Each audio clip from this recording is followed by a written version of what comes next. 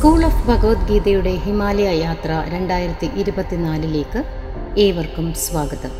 സ്വാമി സന്ദീപാനന്ദഗിരി നയിക്കുന്ന ഈ യാത്ര പ്രകൃതിയാണ് ഈശ്വരൻ എന്നത് അനുഭവവേദ്യമാക്കുമ്പോൾ ഉപനിഷത് വിചാരവും ധ്യാന പരിശീലനവും ആത്യന്തികമായ ആനന്ദം അവനവനിൽ കണ്ടെത്താനുള്ള മാർഗവും കൂടി തെളിയിച്ചു തരുന്നു. ഹൈന്ദവ സംസ്കാരത്തിന്റെ നിലവറകളിലെ ഒരു അപൂർവ ആഭരണമാണെന്ന് ചിന്മയാനന്ദ സ്വാമികൾ വിശേഷിപ്പിച്ച് കൈവല്യോപനിഷത്താണ് ഈ യാത്രയിൽ സ്വാമി സന്ദീപാനന്ദഗിരി നമ്മളോടൊപ്പം വിചാരം ചെയ്യുന്നത്. ഹൈമവത ഭൂവിലൂടെ നമ്മുടെ യാത്ര ആരംഭിക്കുന്നത് ഹരിദ്വാറിൽ നിന്നും ഭാഗീരഥി നദിയുടെ തീരത്ത് സ്ഥിതി ചെയ്യുന്ന ഉത്തരകാശി എന്ന പുരാതന നഗരിയിലേക്കാണ്.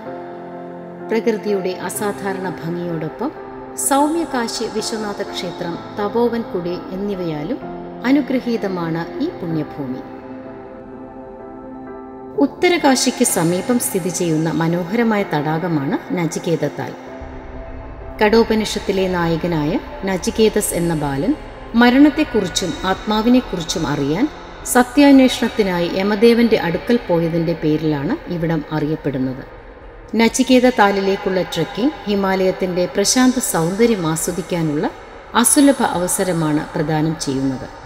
ചാർധാമിലെ നാല് പുണ്യസ്ഥലങ്ങളിൽ ഒന്നായ ഗംഗോത്രിയിലേക്ക് നാം യാത്ര തുടരുന്നു.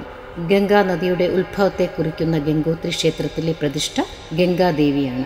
ഗംഗാ നദിയെ ഭൂമിയിലേക്ക് കൊണ്ടുവന്ന ഭഗീരഥ മഹർഷിയാണ് ഈ ക്ഷേത്രം സ്ഥാപിച്ചതെന്ന് വിശ്വസിക്കപ്പെടുന്നു.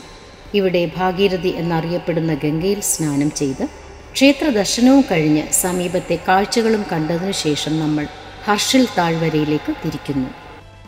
മഞ്ഞുമൂടിയ പർവതനിരകൾ പൈൻ മരങ്ങൾ ആപ്പിൾ തോട്ടങ്ങൾ എന്നിവയാൽ അലങ്കൃതമായ സുന്ദര താഴ്വരയാണ് ഹർഷിൽ. ഗംഗാദേവിയുടെ ശൈത്യകാല വസതിയായി മുക്മ ഗ്രാമം ആപ്പിൾ തോട്ടങ്ങൾക്ക് പേരുകേട്ട ധാരാലി ഗ്രാമം തനതായ സംസ്കാരം വച്ചു പുലർത്തുന്ന ബാഗൂരി ഗ്രാമം എന്നിവ സ്ഥിതി ചെയ്യുന്നത് ഈ താഴ്വരയിലാണ്. ഈ ഹിമാലയ ഗ്രാമങ്ങളിലൂടെ സഞ്ചരിക്കുന്നത് വ്യത്യസ്തമായ ഒരു അനുഭവമാകുമെന്നത് തീർച്ച ടിബറ്റുമായി അതിർത്തി പങ്കിടുന്ന നെലോങ് താഴ്വരയിലേക്ക് നമ്മൾ പോകുന്നത് ഗാർത്താങ്കലി എന്ന ആശ്ചര്യജനകമായ കാഴ്ച കാണാനും കൂടിയാണ്.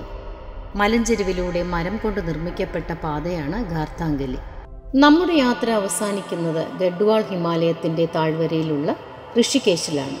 പ്രസിദ്ധമായ നിരവധി ആശ്രമങ്ങൾ രാംചൂല ലക്ഷ്മൺ ചൂല ഗംഗയിലൂടെ റാഫ്റ്റിംഗ് എന്നിവ ഋഷികേശിന്റെ സവിശേഷതകളാണ്. ഹിമാലയത്തിന്റെ സൗന്ദര്യവും ഗാംഭീര്യവും കണ്ടറിഞ്ഞു മടങ്ങുമ്പോൾ ഈ യാത്ര നൽകുന്നത് അനർഘമായ അനുഭവങ്ങളാണ്. എന്നും ആനന്ദം പകരുന്ന അനുഭൂതിയാണ്.